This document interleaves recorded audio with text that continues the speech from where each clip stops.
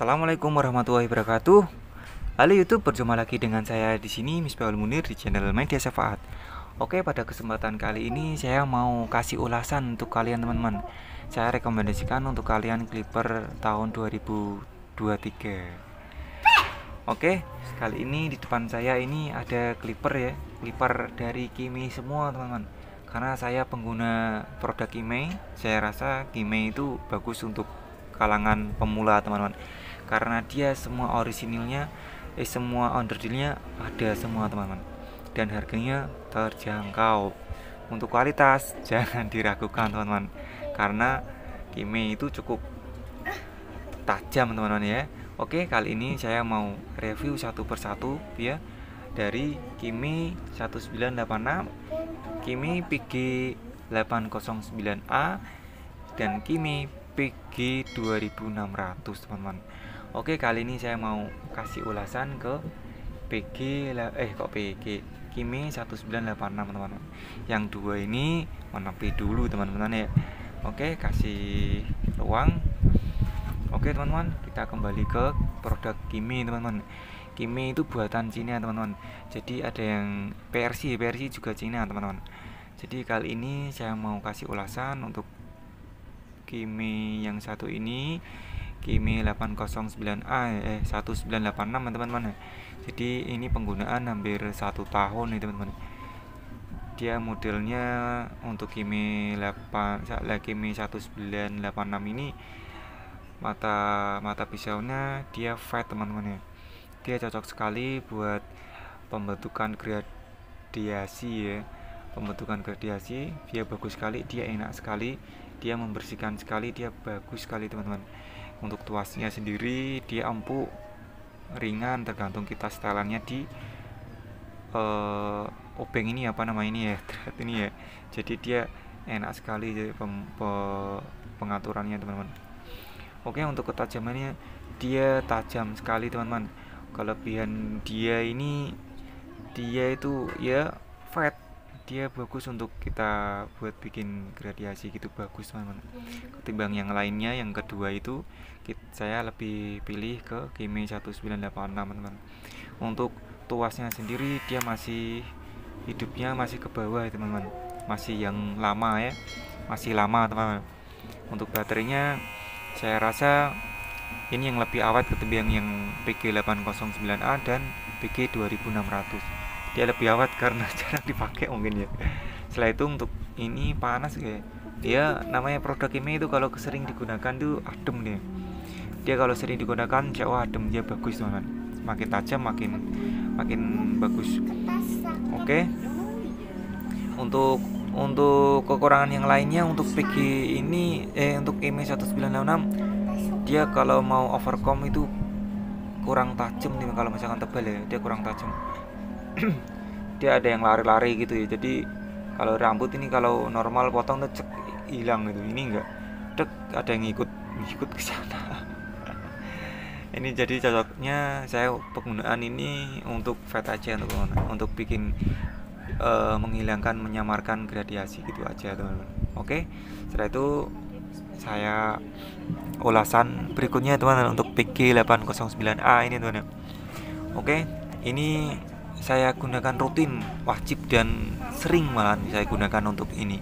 PG809A jadi dia paling favorit yang saya gunakan. Paling favorit yang lebih nyaman dan lebih bus bus bus dia pokoknya ini saya rekomendasikan untuk kalian ada alatnya jasnya baterainya 2000 ya. Pokoknya satu hari masih ya tergantung ramenya ya. Pokoknya saya gunakan ini ya untuk untuk pemula itu cocok sekali dia. Udah ringan dia ringan lebih ringan daripada lah 1986 dia soalnya full metal ya bahannya ada juga bahannya kayak gini jadi agak sedikit korosi mungkin ya. Tapi gak masalah yang penting mesinnya tajam mesinnya stabil ya. Untuk yang ini wah kalau masalah mesin dia lebih stabil lagi dia. Dari 99 ke 10 persen itu dia masih stabil putaran RPM nya teman-teman. Oke ini saya dapatkan harga 140-an teman-teman. Harga 140-an Udah mantap sekali nih teman Kalau misalkan ada lagi saya mau Untuk mata pisaunya yang saya dapatkan ini dari Indo Barber Shop. Supply ya Yang model taper teman-teman. Terus ada ada juga di ada klik klik klik klik gitu. ini pecah nggak tahu kenapa ini padahal jarang ataupun nggak pernah jatuh. Dulu tuh pernah saya bersihkan pakai re Rexo Rexo Rexon 5 50 gitu di dalamnya. Ya kayak WD 40 ya itu hal yang fatal yang tidak perlu dilakukan sebenarnya. Harusnya bersihkan ya pakai kuas ataupun pakai kompresor pelan-pelan gitu dalamnya nggak perlu pakai semprot WD 40 ataupun Rexo 50 jadi hancur semua ini bahannya teman ini patah semua pokoknya di dalamnya hancur. Kemarin ada saya ada ada lem ada lem juga. Di dalamnya udah saya lem ada yang patah itu di video sebelumnya saya. Terus untuk uh, apa tombolnya ini sama kayak punya 1986 ya dia masih ke bawah itu kehidupannya nah. Tapi ini untuk PG 809A ini bawaan sebenarnya dia macam kayak punya ini teman-teman macam kayak punya PG 2600 karena ini udah saya ganti sebelumnya dari punya Kimi 2604 saya tuker aja teman-teman. Nggak masalah karena lebih nyaman pakai yang hidupinnya ke bawah ketimbang ke atas teman-teman. Oke untuk untuk untuk kelebihan yang lain emang pokoknya ini banyak lebihnya ketimbang yang lain. Karena ya penggunaan sering penggunaan gitu sih. Lebih saset-saset terus lebih ringan. Dia ringan teman-teman. Sama kayak 2604 26.000 pokoknya ringan dia. Pokoknya buat tahun 2023 yang ada lednya saranku ya yang ada lednya. Terus baterainya 2000 ya kalian pasti tahu 2000 kayak gimana. Terus ya pokoknya ringan gitu pokoknya. Untuk Kimi itu rekomendasikan ya. Saya rekomendasikan untuk kalian. Mata pisaunya ta apa taper. Oke. Ini umur udah ya pokoknya udah undi sama udah udah pernah saya ulas lah pokoknya gitu tahunnya. Oke next di video yang satu ya. Wah ini baru nih teman.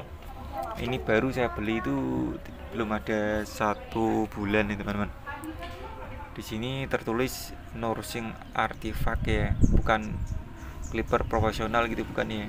Jadi bodinya itu ini Kimi PG 62600 teman untuk body sama persis sama persis sama persis sama punya KM PG 809A sama persis. Nggak tahu lebih mahal ini padahal saya rasa dia lebih stabil eh lebih apa lebih kencang suaranya punya PG 809A ini kekuatannya lebih kuat ketimbang ini. Suaranya lebih nanti saya tes satu persatu suaranya ya teman-teman ya. Oke untuk kelebihannya dia sama persis. Ya sama persis kelebihan. Cuman saya lebih pakai sering PG 809A teman-teman. Nggak tahu karena lebih jos tenaganya. Saya lebih jos tenaganya. Untuk yang lain sama persis gak ada lebihnya cuman lebih halus suaranya lebih kalem. Casnya sama penggunaan baterainya juga sama itu. Yang saya dapatkan di di apa di clipper saya ini tipe taper ya tipis ya teman-teman ya. Tipis ya tapi tajam dia kok dia tajam kok. Oke pokoknya untuk kalian yang baru-baru buka potong rambut saya rekomendasikan untuk kalian yang 2023 itu yang ada mata oh, yang ada displaynya baterai ini teman.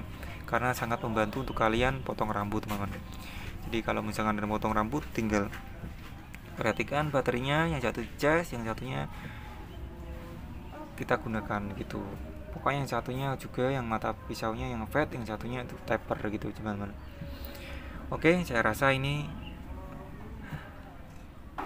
menarik teman-teman ya. Menarik ya saya suka sekali dengan produk Kimi Oke, saya rasa cukup sekian video saya kali ini. Jika kalian suka dengan video ini, kalian bisa klik tombol subscribe teman-teman karena subscribe itu gratis untuk kalian teman-teman. Kalian bisa uh, oh apa itu namanya kasih ulasan ya kasih apa klik di komentar apa pertanyaan apa bisa rekomendasi apa re reko minta request apa oke okay? Untuk kali ini video saya akhiri ya. Saya akhiri. Assalamualaikum warahmatullahi wabarakatuh